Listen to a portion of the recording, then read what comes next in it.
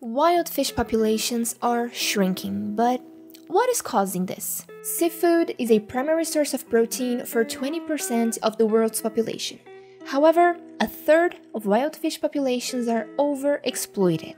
Although regulations have been put in place, they are often ignored by illegal fishing boats and certain fishing practices like bottom trawling. Well, Bottom trawling is the dragging of a huge net across the seabed, catching everything in its path. This destroys habitats, disturbs the seafloor, and negatively impacts non target species such as lovely sea turtles, which are often caught in the nets. Ultimately, most of the fishing done today is done unsustainably and has resulted in the shrinking of wild fish populations and the loss of an important source of income for many communities. Do you have any idea how we could solve this? Let us know in the comments. See ya!